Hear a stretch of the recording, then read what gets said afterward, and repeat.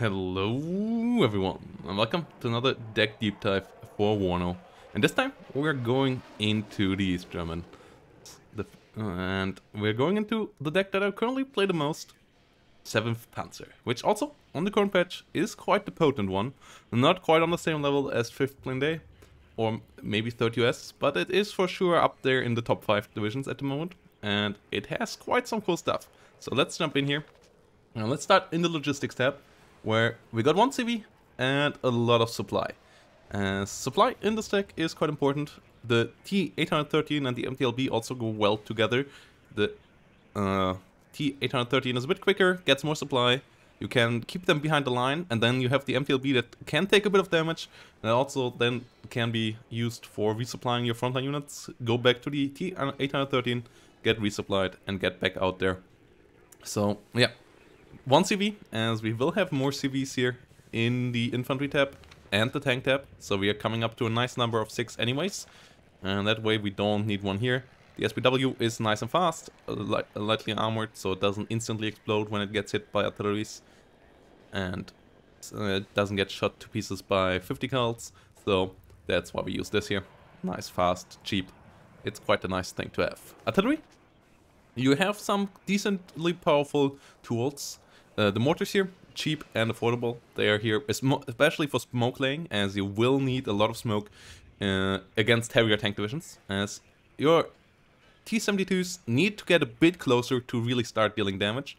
When they get a bit closer, they deal fantastic damage for their price, but against something like an M1A1HA, you want to be able to smoke them off. Same goes for enemy ATGMs, potentially smoking them off, and that's what these guys are for as they do it for a pretty cheap price. Akatsiyas are there for dealing with ATGM positions and units and buildings.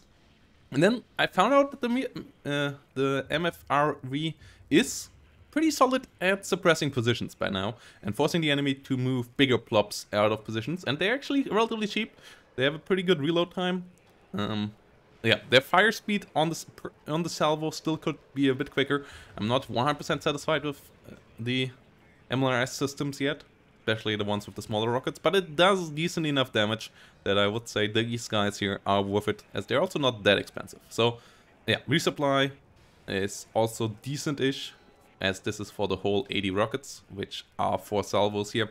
Not fantastic, but it is acceptable. So, yeah, next one, the tank tap. And the tank tap is fantastic, especially when it comes down to the T-72s, as these are just insane powerhouses when it comes to their penetration on the gun. Um, and the armor is still decent enough that all the smaller tanks you don't really worry about, and the big tanks will struggle to one-shot you, and that is the important factor there, as you have some time to react. Uh, so whilst you can get out, out enough of these that you can like shoot at the enemy, start to deal damage, the ones that they hit you smoke off, retreat, and keep on firing with the rest. So you can really create really strong formations of 3, 4, 5 of these and bring the pain to the enemy. TO55s, super cheap. The flamethrower pretty help can be pretty helpful as well. So that is quite nice.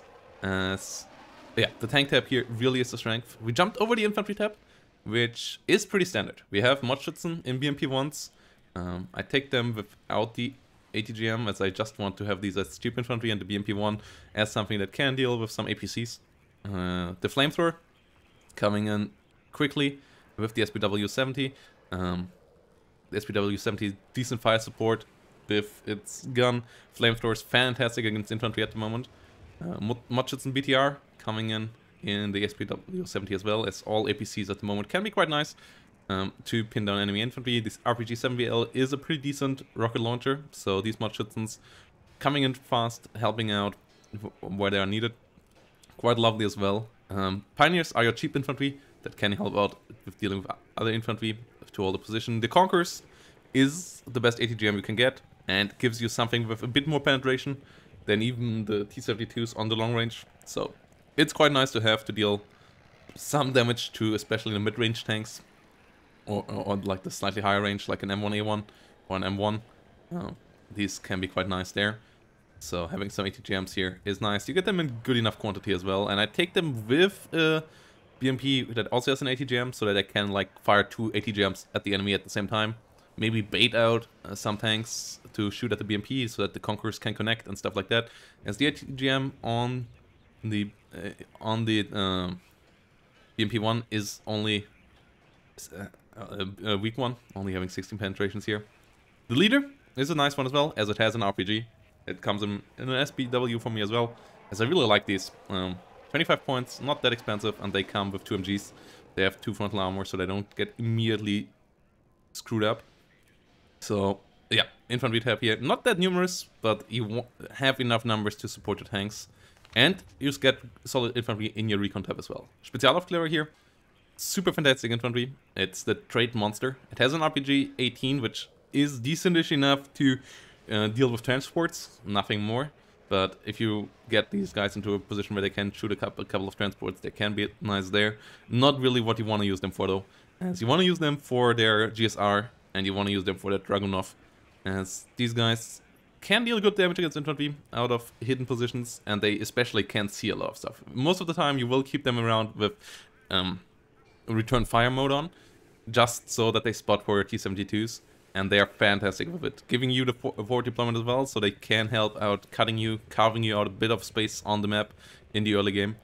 Availability with 6 is also pretty fine, so they are quite nice. Aufklärers, um, yeah, these are your cheap off uh, recon that you can move around a bit free more freely as they're quite affordable.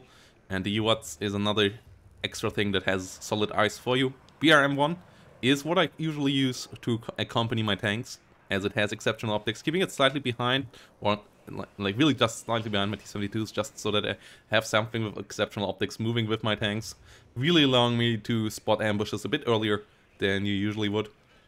Its firepower, not that massive. It's 3 frontal armor though, can save it from a bit of punishment, and that is quite nice, but really the exceptional optics is what you get this thing for. And then in the AA tab, you have a solid amount of choice as well. The options here are decent, not great, but the Kub gives you the amazing long range that you currently need uh, to really keep the airplanes out there. Like if you have four of them on the battlefield, enemy airplay is heavily reduced and overwhelming them will be nearly a thing of impossibility at the moment. So they are quite nice and they're not that expensive. Strela 10M is my thing against a bigger numbers of helicopters as they have a decent anti-helicopter range and they can keep up with even the best ATGMs on helicopters range-wise, so that is nice. Accuracy is the big issue though, so you usually want to have them somewhat around in pairs, and then the Igla is what you have around in all the spots where you have a good building spot or so, where you can shoot out maybe onto an enemy um, helicopter out of hiding and just uh, snipe down enemy recon helicopters and so on. The Igla is quite nice for that, especially once the UATs is sold, it's only 35 points. And the Igla stats quite nice, um, especially against such recon helicopters, and it can be helpful to finish off an enemy plane that flies over it after it got hit by a Kub, so that connection goes quite well. I felt the Strelas are a bit too unreliable, the range also a bit too low for my liking, so I'd rather go with the Igla. Strela really 40 accuracy is a bit too low. The the Igla for sure does it a good bit better. And Shilkas, I also feel like lacking a bit of killing power at the moment. You can, if you get a fourth slot in, then I would say a Strela, uh, is the way to go. As then you, they stun lock helicopters 100%, so that is the nice thing about them. And they have a decentish range there as well. But it's not as good as I would like. Like, I would like them to have 2600 meter range against helicopters, then they would be fantastic this way around, they actually sometimes just get sniped by enemy ATGM helicopters, and that feels really, really bad.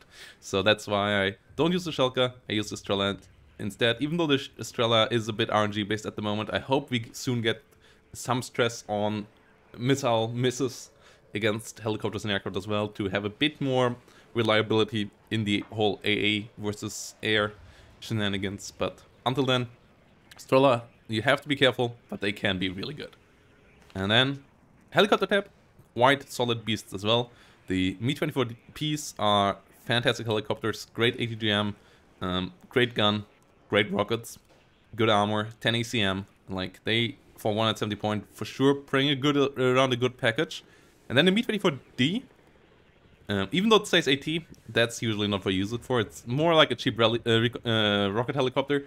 Its gun, sadly, also not that amazing, but its rockets are quite helpful. It is still armored, so it can still annoy the enemy. Uh, most airplanes can't shoot it down with a single gun run, and all of that is quite nice. Um, but the ATGM is really lackluster. It's only it's really seldom that the Falanga P does connect with something, as it has the lowest range of any hel uh, helicopter-borne ATGMs. It has the lowest accuracy, and it has one of the lowest penetrations there as well. So it's really a bit lackluster in general. But if necessary, you can use it to kill off maybe an uh, CV if you can find it or so no, behind enemy lines. If you can get these behind enemy lines, you still can potentially ambush artillery or so. So 420 points, they are a strong package, but the real damage dealer is against lighter targets with the rockets. On 2100 meters, that is dealing a decent amount of damage, and you get two per cards, which is really the deal that you want to go for here. The, the card efficiency is nice, as you get two armored helicopters that are hard to kill and can be annoying. Uh, as I said, killing power really, really a lot lower than, for example, an Apache or any high level Mi-24, but it's for sure a decent enough package to get into one card. And then air tap, you want to have a fighter. The fi uh, fighter I go for is the MiG-23, as I'm not a big fan of the MiG-21s. As if you have two cards, the MiG-21s are nice accompanying it, but if you only get one card, and I feel like you want to have some strike packages as well, um, the MiG-23 is just the better all-round package. The R-27R is a quite good missile. Um, the R-60M is decent-ish accompanying it. It is a good all-round fighter, can be um, zoning out something like a enemy, like all the enemy slow planes in a 10 or so quite nicely. Uh, Alpha Jet without having to worry too, too much it's still a bit more maneuverable than a MiG-21. Uh, and it's, it's, the same speed. ECM, sadly, also only 10% though. That is a big of a problem. And yeah, not having... But having long-range missiles is the deal that I really like here. That you can outrange Harriers, outrange all the bad low-level NATO and packed planes with this to a solid degree. So micro on these quite important as they get outclassed by the higher level planes as well by a good bit, but you can potentially shoot them down, like an F-15, uh, F-16 even, and for uh, Su-27s and so on. Like they outclass the MiG-23 ML by a good bit, but you can potentially shoot them down, whilst the Harrier usually doesn't stand a chance there. MiG-21 BIS, still a decent bomber. It doesn't one-shot uh, tanks anymore, which is a good thing as it is still a really cheap plane. It comes in quickly though and it can destroy, for example, an ATGM really reliably, it can kill off IFVs. So if you're in need of a strike package quickly uh, on the point, these are still your go-to bombing planes in my eyes. Uh, you just have to be careful that you for sure don't have too much AA uh, around as they are super flimsy. And as I said, you don't want to use them against full hit point tanks anymore. Against damaged tanks or against tanks that you're just about to engage, they can still be helpful to tilt it into your favor. They still do some damage there, but they don't outright nuke M1A1HAs anymore, which is a good thing though. And for that, you more likely have this Su-22M. Su-22s still amazing because of the ECM. Speed is decent as well. The ATGM here dealing good damage, and if you get one of them on target, you basically always get close to killing the enemy off. The 30mm gun also can kill off helicopters really fantastically, the double 30mm. So these are still decent hel helicopter killers together with the R60Ms. And yeah, the ATGM here is there to kill, to help you out killing off some big tanks. Like if you're up against the 3rd US, if you're up against 5th Panzer, you sometimes will struggle against strong Leos, strong Abrams, strong T-80s, in positions where you can't quite get there easily with T-72s, and that's where the Su-22 comes in to really fulfill the package as your T-72 strikes perfectly up low. It strikes really great against something like an M1 uh, A1 or T-80B or BV, but against the T-80Us, against the M1A1HAs, against the Leo 2A4s and 2A3s, you sometimes can get into a bit of a dicey situation, and that's where that plane really can help out bringing numbers back into your favor, especially as it also trades really cost efficiently, even if you lose it against those kind of things. So this is the deck. It is all about cost efficiency and getting this ball somewhat rolling. Uh, it has decent enough artillery to support, it has decent enough infantry to support everything. Flamethrower is still at the moment the best CQC, so that is quite helpful in winning town fights to some degree. And what it misses would be a better um, IFV and maybe a bit more reliable AAA. That Those are the two things I would say would make this deck perfect, but obviously that's not quite the goal of these decks. If they all would be perfect, the game would be boring. But T-72 is fantastic tank, and this is a fantastic division. And I hope you enjoyed this video. If you did so, consider leaving a like. And I hope to see you in the next one. Bye bye, and have a great day.